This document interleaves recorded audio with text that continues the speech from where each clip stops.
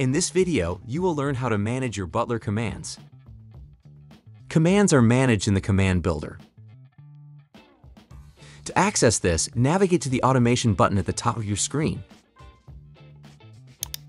Select any of the options from the drop-down menu. Select the tabs on the left to see all the commands for that type, as well as your options to manage the command. Add tags to help you organize your commands. Edit a command by selecting the pencil icon.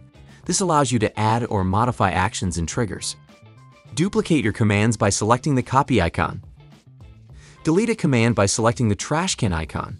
This will permanently remove the command from all boards where they're enabled.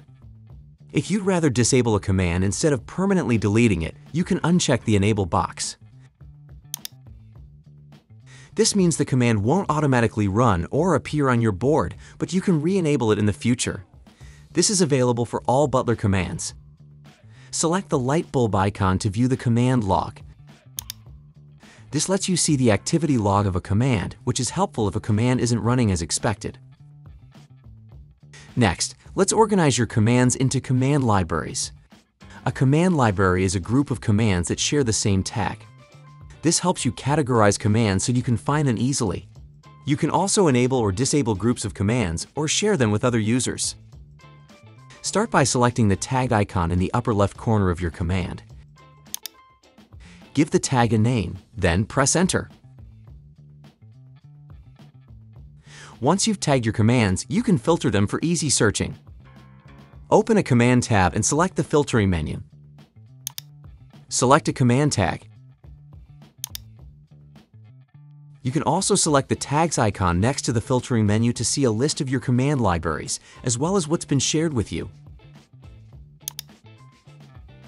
If you'd like to share your library, simply select the Share toggle in the lower right corner of your command. Know that the only way to share rules, calendar commands, and due date commands is through Command Library Sharing. Command Library Sharing is only available on paid Trello plans, for a standard or premium workspace, this will share the library with all workspace members. For an enterprise workspace, this will share the library with every enterprise member. Finally, let's talk about sharing your Butler buttons with others in your workspace. All Trello plans have the ability to share card buttons and board buttons. Your Butler buttons can be visible only for you or shared with other people who belong to your board or workspace.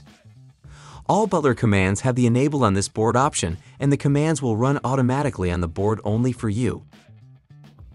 Card buttons and board buttons have additional options. Enabled on all boards on this workspace makes the button available on all boards within your workspace.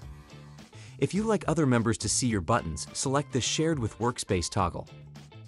When both of these toggles are enabled, the button will be visible to workspace members only, not guests.